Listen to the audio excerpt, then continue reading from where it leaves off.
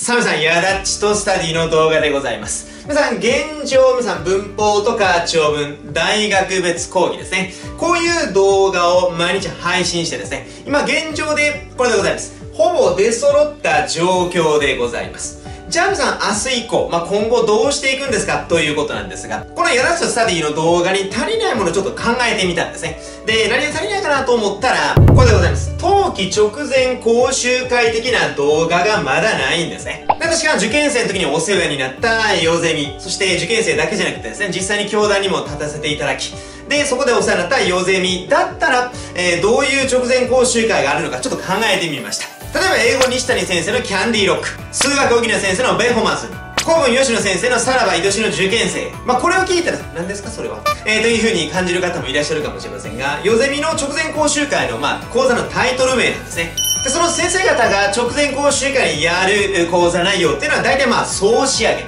総まとめでございます。まあ、当然時期的なものもございますので、まあ、間違いないですね。ただ、私がやるとしたら、じゃあ、どうするか。そしてこの YouTube をご覧になっていただいている生徒さんがどういう授業であれば、えー、喜んでいただけるのか。で当然それを考えたところ西谷先生とか荻野先生とか、えー、彼らがやってる授業と同じではあんまり意味がないんですね。特に受験生であれば残り時間が短くなってきましたのでやはり心理的な焦り不安というものも多分あるかと思います。でおそらくその方々の深層心理にあるのは多分これかと思います。わらをもすがる思いで見ていただいてるとすれば裏技必殺技瞬殺そして盲点ですね。こういったところであれば皆さんの合格につながるんじゃないかと。こういったところであれば皆さんの合格に役立つんじゃないかなという感じがいたします。で皆さんこの辺りにちょっと目がいってしまいがちかもしれませんがここを押さえるところですね。盲点を押さえることによってケアレスミスは防げるかと思いますので試験中の的中。